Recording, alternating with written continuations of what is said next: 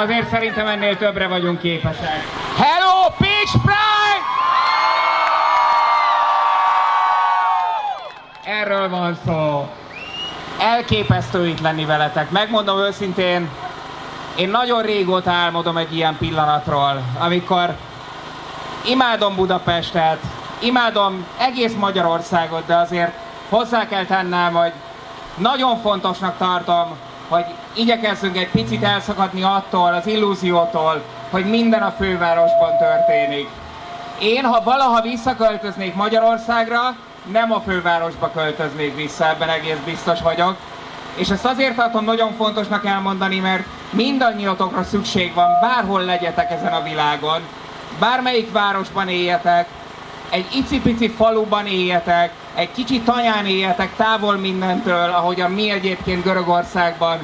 Hihetetlenül fontos, hihetetlenül nagy mérföldkő az, hogy kiálltok az LMBTQ jogok mellett, hogy hisztek azokban az emberekben, akik másképp gondolkodnak, mint a, a nagy tömeg, ahogyan az elvárva van tőlünk a társadalom által.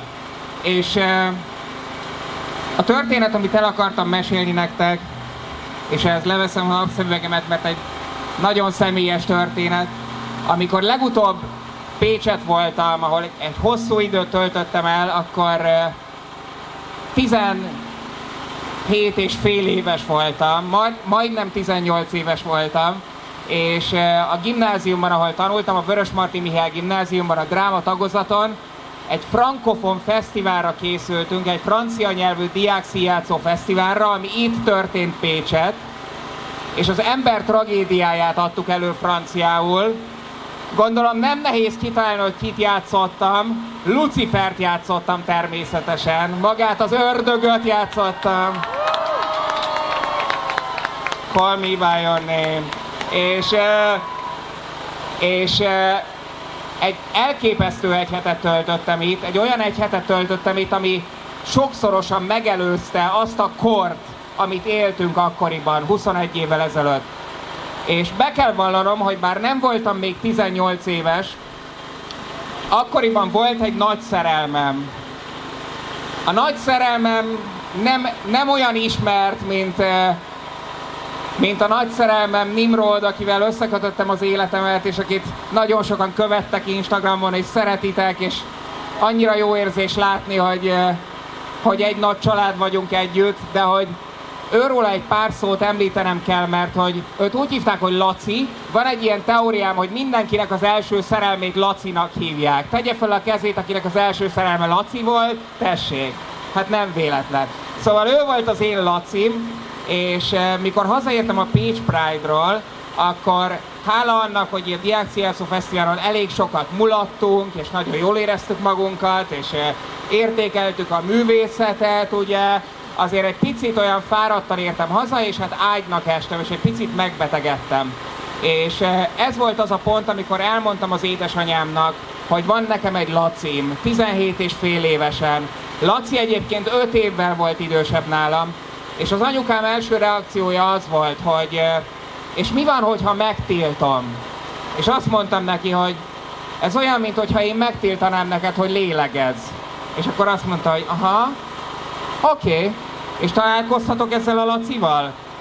Bevontuk az apukámat, az apukám azt mondta nekem, hogy én sokfelé jártam a világban, sokféle emberrel találkoztam, ebben nekem semmi különösebb újdonság nincsen, ismerjük meg Lacit és hát mivel tényleg dögrováson voltam, beteg voltam, Csillaghegyen laktunk, ott nem volt éjjel-nappali patika, fölhívtam a Lacit, és mondtam, hogy a családom találkozni akar vele, és azt mondta, hogy de hát figyelj, ha már úgyis a család találkozni akar, és beteg is vagy, akkor hozok neked gyógyszert a Szondi utcai éjjel-nappali patikából, ami az egyetlen éjjel-nappali patika volt akkoriban, és az én akkori szerelmem a belvárosból Csillaghegyre kibiciklizett hozzánk a gyógyszerrel, találkozni a szüleimmel. És ha, bele, ha belegondolok abba, hogy ez a mai narratívába, abban a narratívába, hogy 18 éves kor alatt egy ember nem tudhat arról, hogy normális az, amit érez valaki iránt, akiben beleszeretett, hogy amíg nem leszünk 18 évesek, addig hivatalosan csak a szüleinktől kaphatunk engedélyt arra, hogy élhessük a saját életünket, hogy felvállalhassuk önmagunkat. A hideg futkos a hátamon, hogy 21 évvel ezelőtt hogy nekem erre lehetőségem volt, hogy láthattam, ahogy az édesanyám átöleli az akkori 5 évvel idősebb páromat, és azt mondja, hogy köszönöm, hogy gyógyszert hoztál a gyermekemnek, és mondanom sem kell, hogy utána óriási barátok lettek, az anyukám titokban a Lacival cigizett, mert az apukám nem engedte neki, de nem szabad dohányozni, tudjátok.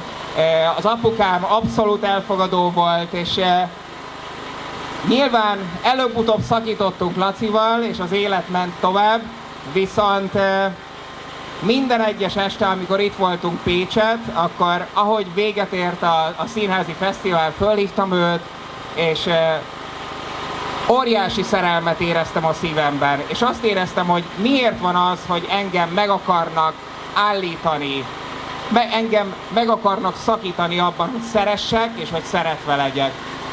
Úgyhogy ennek a történetnek a margójára csak annyit szeretnék hozzáfűzni, hogy minden egyes ember, aki hisz abban, hogy elég intelligensek, elég okosak, elég érzékenyek vagyunk ahhoz, hogy szeressünk és szeretve legyünk, az egész nyugodtan mondjon nemet egy olyan diktatúrának a törvényére, ami egyszerűen megtiltja nekünk azt, hogy önmagunk legyek, legyünk, ami megtiltja azt, hogy egyenlő jogok biztosítsanak mindannyiunkat.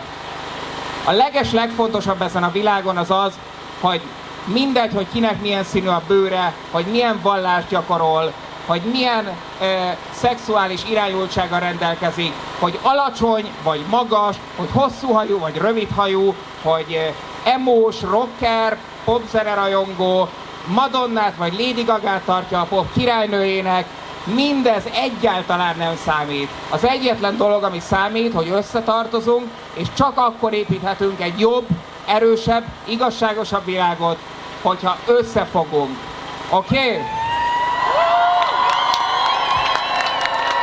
Nagyon-nagyon köszönöm még egyszer, hogy itt lehetek. Köszönöm a Page Pride szervezőinek, és nagyon-nagyon köszönöm a Budapest Pride-nak is, akik elindították ezt a vonatot, ezt a megállíthatatlanul száguldó vonatot, és hiszek abban, hogy jövőre lesz Debrecen Pride, Miskolc Pride, Siófok Pride, minden Pride lesz jövőre, sőt, minden áldott nap, minden egyes városban, minden egyes faluban Pride van. Köszönöm, hogy itt lehetek.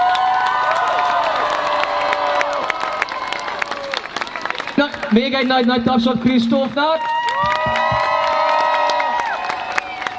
aki amúgy az esti záró